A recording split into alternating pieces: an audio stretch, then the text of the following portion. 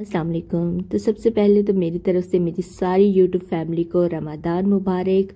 और यहाँ पर मैंने कुछ प्रिपरेशन कर ली थी रमादान के लिए तो मैंने सोचा कि आपके साथ भी इसका व्लॉग शेयर कर देती हूँ। प्रिपरेशन का मतलब बस ये होता है कि हमारा थोड़ा सा टाइम बच जाता है तो हम ज़्यादा से ज़्यादा अपना टाइम इबादत में गुजार सकते हैं। इन छोटी छोटी चीज़ों पर हमारा टाइम वेस्ट नहीं होता। तो बस सबसे पहले हमने लहसुन का पेस्ट बना लेना है। लहसुन को हमने छील लिया था। इस तरह से आपने चॉपर में डालना है। हल्का सा आप चॉप करें पहले उसके बाद आपने दो से तीन चम्मच इसके अंदर कुकिंग ऑयल डाल देना है। तेल डालने से ये होगा, एक तो इसका जायका बरकरार रहेगा, दूसरा इसका रंग भी चेंज नहीं होगा। किसी भी ग्लास जार के अंदर आप इसे डालकर एक महीने के लिए सेव कर सकते हैं। उसके बाद अदरक को भी हमने छोटे छोटे टुकड़ों में काट लिया। थोड़ा सा इसके अंदर भी दो से तीन चम्मच तेल डाला है और इसे भी ग्राइंड कर लिया है। तो ये देखिए, ज़बरदस्त ये भी तैयार है। उसके बाद सब्ज़ मिर्चों को स्टोर करने का एक तरीका तो ये है कि आप इसकी डंडियाँ उतार लें, धोकर और इसे सुखाकर किसी भी ग्लास जार के अंदर आप सेव कर लें। एक महीने के लिए बिल्कुल भी ख़राब नहीं होती।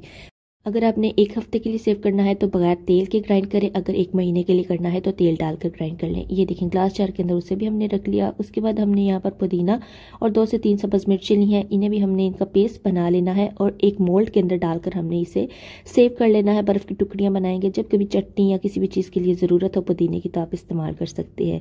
हमने यहाँ पर शामी कबाब बना लिए थे। सिर्फ़ दो मिनट के अंदर आप शामी कबाब की कैसी शेप बना सकते हैं, ये हम आपको बता देंगे। यहाँ पर वीडियो बहुत लंबी हो जाती तो मैं इनशाला इसका अलग से वीडियो बनाऊँगी। उसके बाद हमने गरम मसाला तैयार कर लिया है। परफेक्ट गरम मसाले की रेसिपी देने लगी है। दो से तीन तेज़पात ले लें और तीन से चार पत्ते करी के ले लेने हैं। और तीन से चार चम्मच सूखा धनिया लिया, एक टेबल स्पून दालचीनी लिया है, जिसे मैंने इस तरह छोटे टुकड़ों में काट लिया है। एक जायफल लिया है और एक जावित्री का फूल लिया है। दो बादन के फूल लिए हैं, एक टेबल स्पून सफ़ेद ज़ीरा लिया है और छः से सात चम्मच आपने काला ज़ीरा लेना है।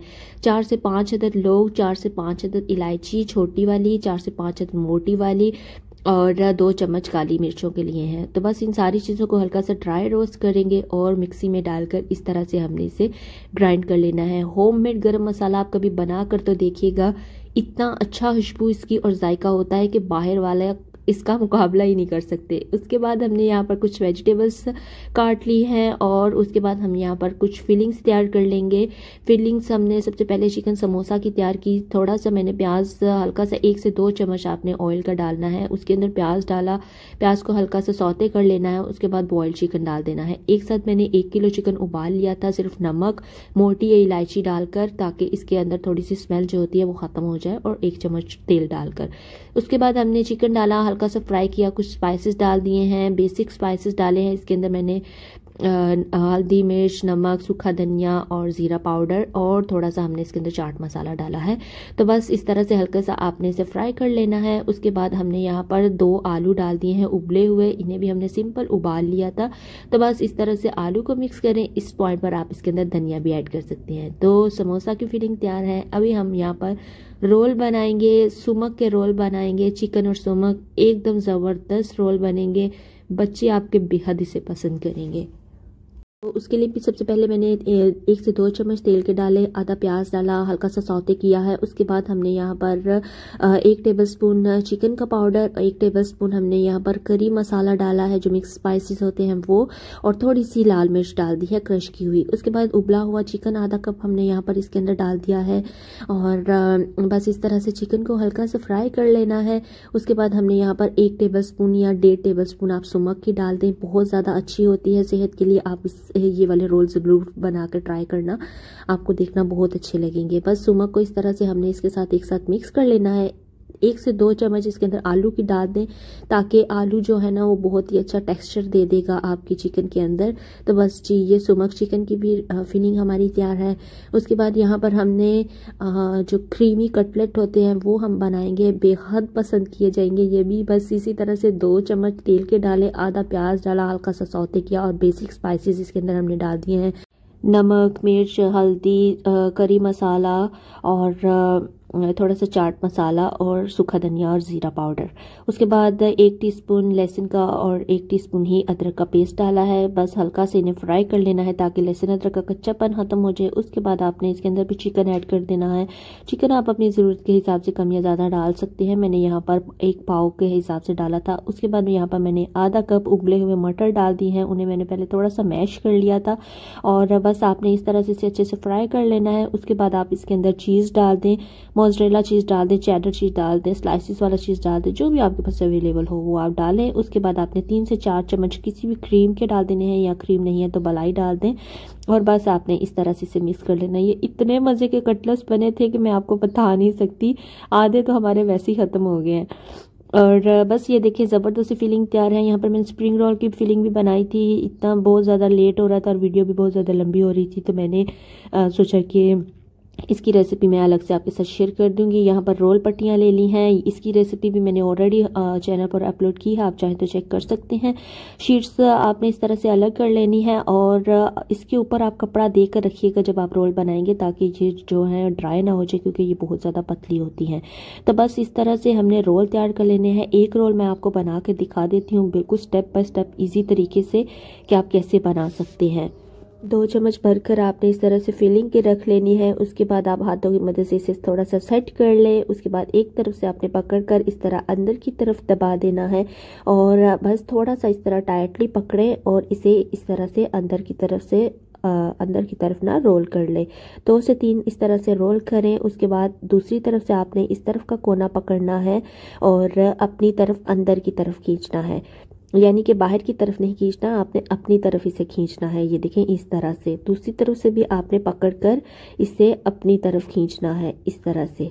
ये देखिए अब ये जो एक्स्ट्रा है, इसे यहाँ से इस तरफ़ से पकड़ेंगे थोड़ा सा और इसे ये ये अंदर की तरफ़ चला गया और इसे नीचे की तरफ़ आपने इस तरह से कर देना है। बस जो आगे की जगह है, उसके ऊपर हमने मैदा और पानी से मिक्स करके स्लरी तैयार कर ली थी, वो लगा लेंगे और सिंपली आप इसे फोल्ड कर दें। बहुत ही आसानी से आपके रोल्स बन जाएँगे, आपको ज़रा भी दिक्कत नहीं आएगी। तो ये देखें ज़बरदस्त रोल तैयार है। बहुत ज़्यादा हमें मैदा भी इस पर लगाने की ज़रूरत नहीं पड़ी। तो इसी तरह से मैंने सारे रोल्स तैयार कर लिए थे और इसे जिप लॉक बैग में डालकर हमने रख दिया था। ये बिल्कुल भी एक दूसरे के साथ नहीं चिपकेंगे क्योंकि हमने यहाँ पर बहुत ज़्यादा मैदा नहीं लगाया। उसके बाद समोसा पट्टी ले लेनी है। समोसा भी हमने इसी तरह से तैयार कर लेना है। चिकन के समोसा की फिलिंग हमने तैयार की थी। यहाँ से एक तरफ़ से आपने इसे पकड़ना है, इस तरफ़ से रखें।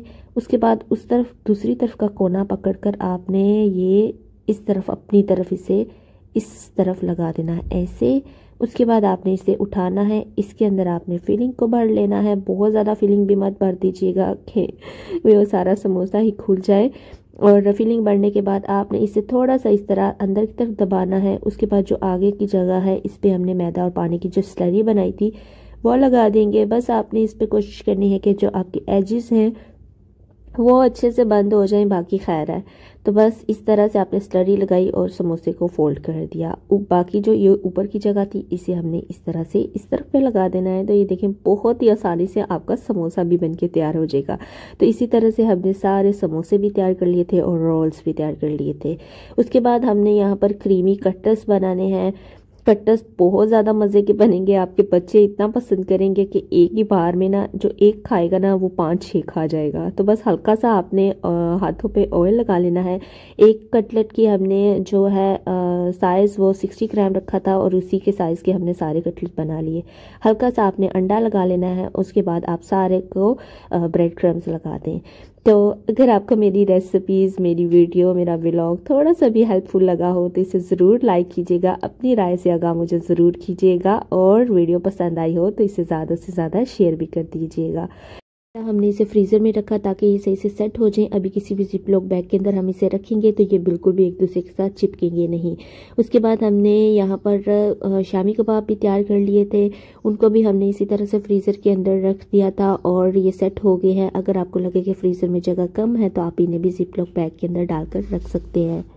अगर तो आपने ब्रेड क्रम्स लगाए हैं तो ओके अगर आपने ब्रेड क्रम्स नहीं लगाए तो फिर आपने इसे हल्का सा मैदे से डस्ट करना है पहले, उसके बाद आपने इसे किसी भी जिपलॉक बैग के अंदर डालना है. तो ये बिल्कुल भी चिपकेंगे नहीं, जो बाय मार्केट से मिलते हैं, वो भी इसी तरह से करते हैं. तो बस इस तरह से हमने इसे भी जिपलॉक बैग में अंदर डाल दिया. उसके बाद हमने कुछ जार हैं जो रिफ़िल कर लिए हैं, ताकि इन पर एक्स्ट्रा टाइम हमारा ज़ाया ना हो. और उसके बाद, बस ये देखें जी, यहाँ पर कुछ सब्ज़ी, ये देखें, ये मैंने समोसे बनाए थे और ये रमज़ान आने से पहले ही ख़त्म हो गए हैं। और यहाँ पर ये सारी चीज़ें हमने तैयार कर ली हैं। और यहाँ पर ये देखिए, हमने चने उबाल लिए थे। सफ़ेद चने उबालने हैं। आपने सिर्फ़ नमक डालकर इनका पानी आपने अलग कर लेना है। और इस तरह से बिल्कुल भी इनमें पानी नहीं होना चाहिए। तो आप इन्हें फ्रीज़ कर लें। जब चाहिए हो तो आप इन्हें हल्के से नीम गर्म पानी के अंदर रखें और निकालें। और इनका पानी आपने नहीं फेंकना। ये हमने अलग से बर्फ़ वाले मोल्ड में डालकर बर्फ़ जमा लिया है। कोई ग्रेवी बनानी हो, चावल बनाने हो तो उसमें आप इस्तेमाल कर सकते हैं। कुछ सब्ज़ियाँ इस तरह से काट कर रख ली हैं, चाइनीज़ और सलाद वगैरह बनाने में इस्तेमाल आएँगे। एक हफ़्ते के लिए आप इन्हें फ्रिज में स्टोर कर लीजिएगा। तो यहाँ पर सारी चीज़ें हमारी ज़बरदस्ती तैयार हैं। व्लॉग कैसा लगा है कमेंट सेक्शन में ज़रूर बताइएगा। थैंक यू सो मच जजाकल्ला है।